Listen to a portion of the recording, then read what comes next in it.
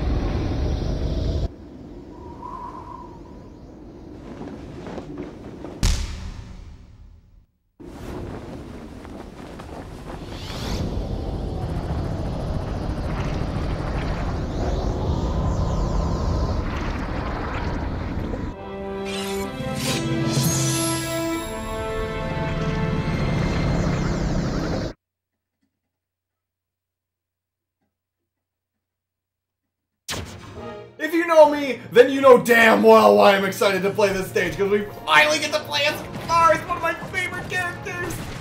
Well, Marth is a, Marth is a strange case.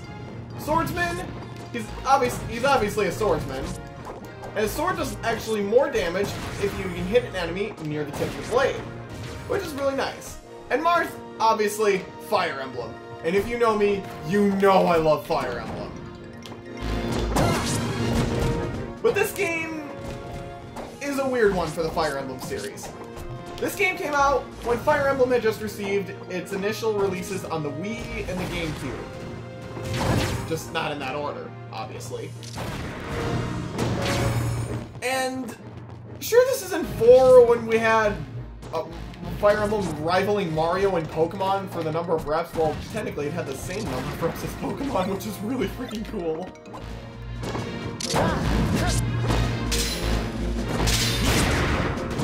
Anyway, down B counter. But Fire Emblem always has had a special place in my heart. Sure, I didn't really care about it when Marth and the other Fire Emblem character were in this game.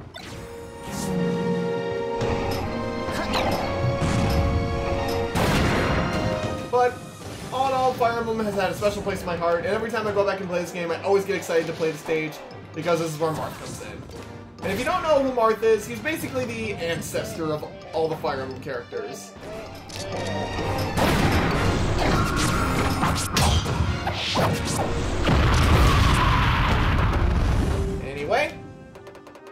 Go up here, throw the key at the door, roll to avoid this, and go in this door.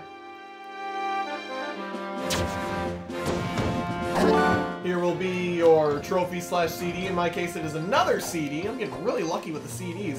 Let's Play Curse is actually being nice to me. Heart container, I needed that because, well, I'm kind of rusty as Marth. In 4, my Fire Emblem names usually are Robin and Corrin. And a little bit, I do play a little bit of Lucina. Okay, let's get rid of you. Come to, come to the blade. Avoid that. Okay, get that. Anyway, now you got two paths you can take. You can either go up or down, and I'm gonna go down. Roll to avoid you.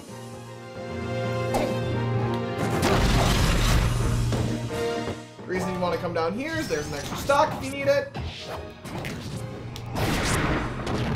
Grab that bomb. Launch it at you guys. Fail to counter that. Grab that. And now there's really no way to get through this door. But since you're playing as Marth, hold V. And there you go. His standard special is what you call shield break. If an enemy is shielding and he's fully charged, it will instantly break the shield. And then we got these guys. We're trying to beat them out.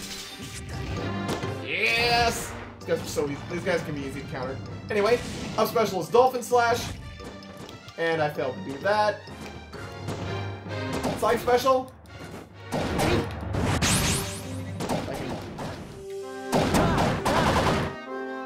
Input directions while doing the rapid uh, press of the, of side B, you change direction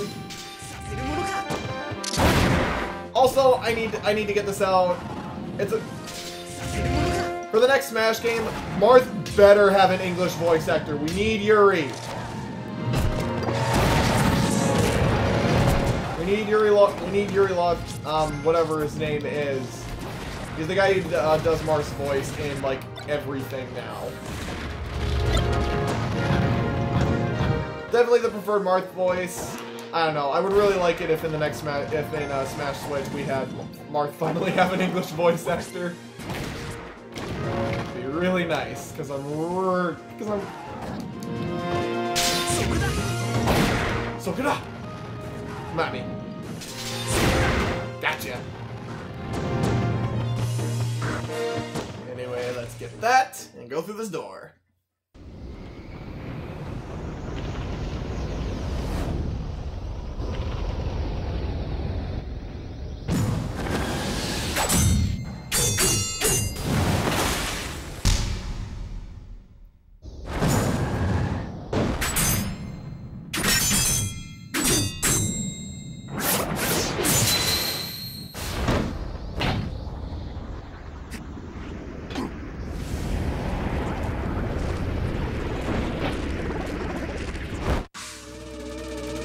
As the most broken character in Brawl appears, you can bet we're gonna play as him for this part.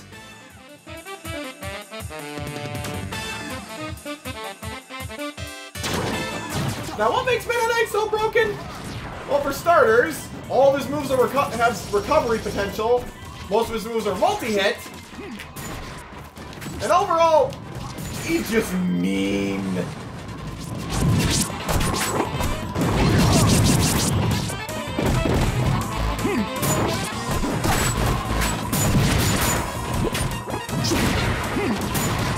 Focus here. Also, I really like the, this remix of Knight's Revenge from, I can't remember the Kirby game that this is from.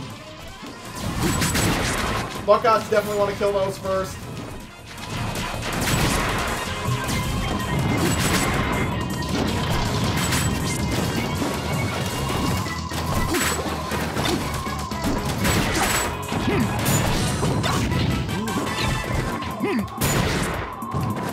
Alright, get these guys out of the way.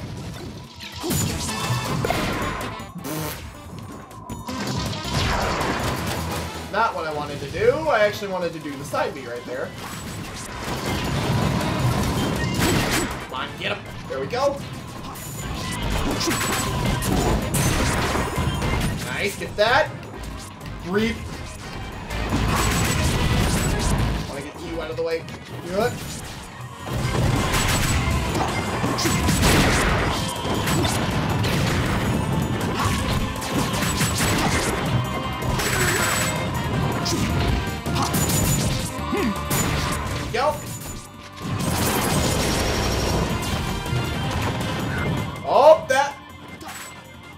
The shield went up there. Didn't want it to.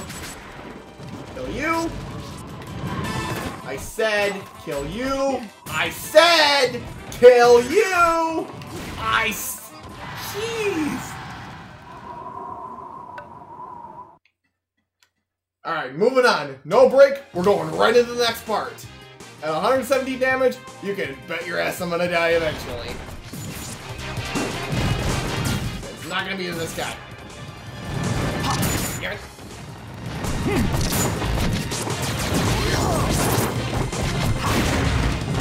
No, no. that was so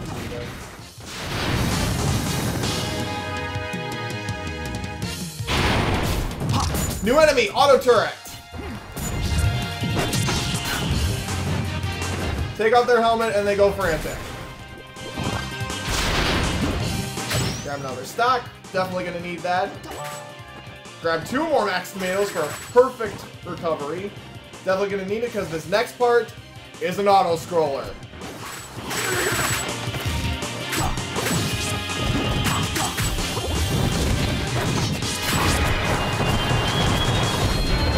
want to grab that trophy because that will go towards your stage completion.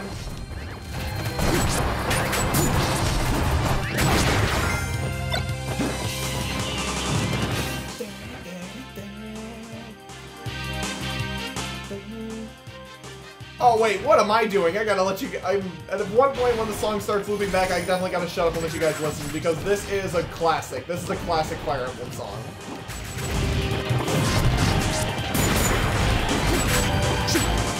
Get the.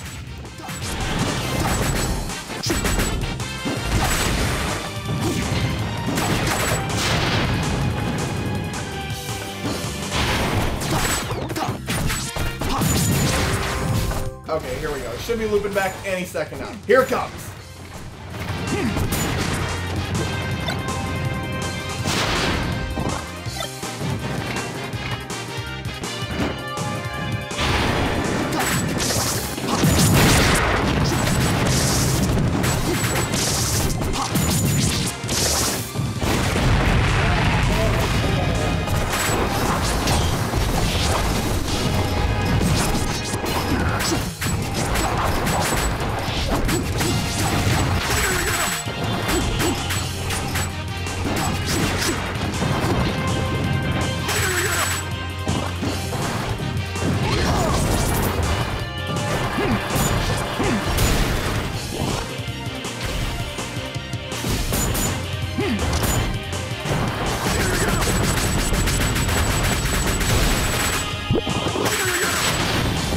Alright, as that enemy onslaught ends, this is actually the battle theme from Fire Emblem 7, otherwise known as Fire Emblem, aka Fire Emblem Blazing Sword. Probably one of my favorite games in the series.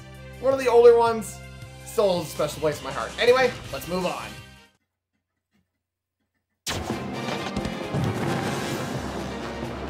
We're Gonna head down, and another new mechanic, mine cars.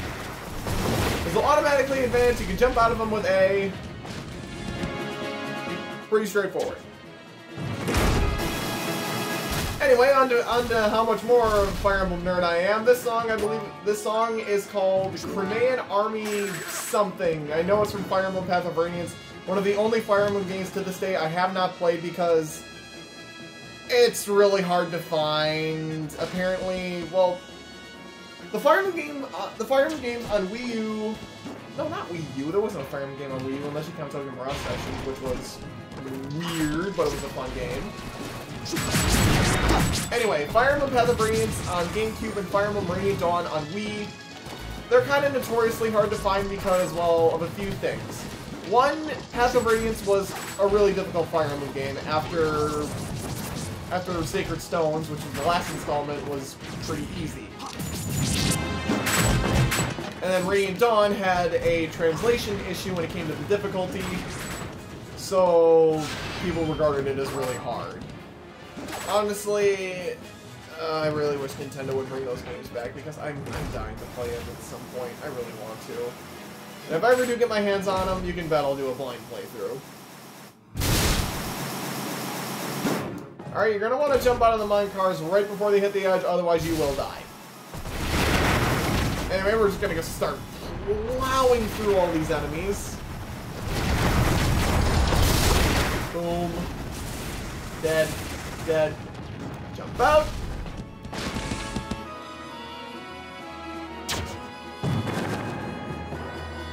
Let's let the Meta Knight glide us to the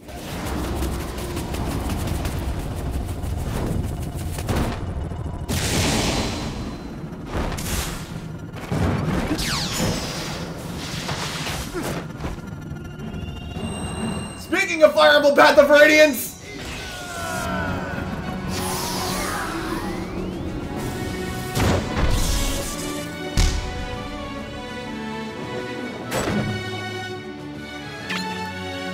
There is one choice here.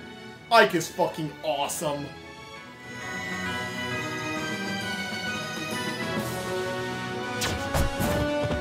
Alright, getting into Ike. Heavy hitter, deals a lot of damage.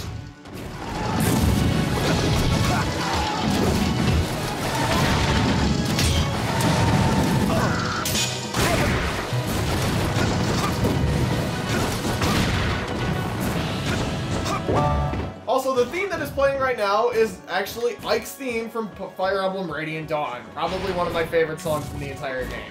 Even though I have not played it, I've heard this song plenty of times. I still love it. Anyway, getting into, into how Ike fights, I'm trying to pull off his up special. Aether. This is a recovery attack that when executed, it will actually come back down. And as you can see there, I took a hit but didn't take damage. This is what's known as super armor. Certain attacks, if you... Stop it. Oh, poop. Oh, that was a poor start. The Nagagogs and the Buckets are a really mean combo, especially since the Buckets can be really hard to hit. Anyway, that's like, back to Marth, let's go.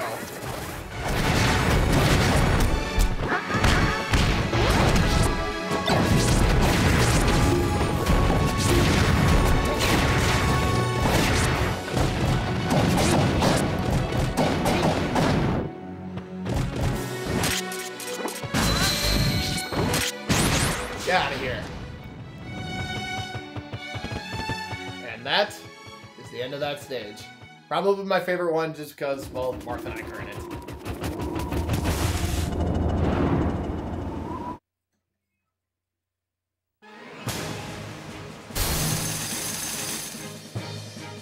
Pretty good haul.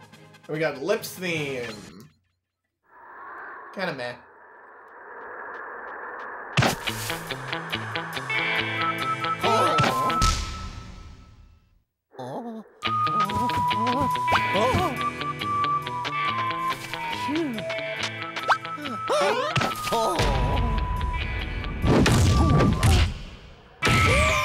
Shooting stars meme here.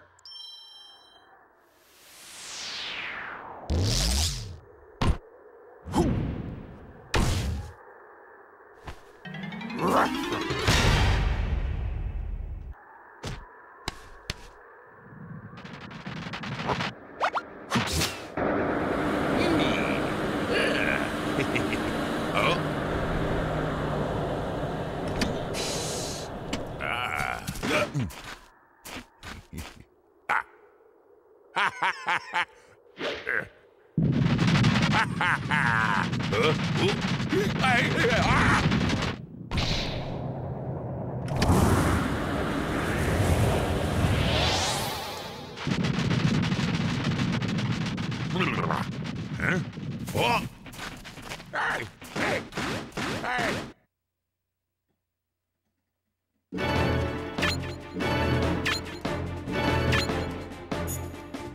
One, poor Luigi.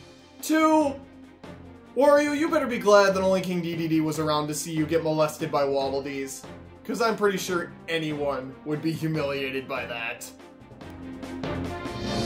Anyway, that stage definitely took up a lot of time today. So we're going to be saving the forest for next time.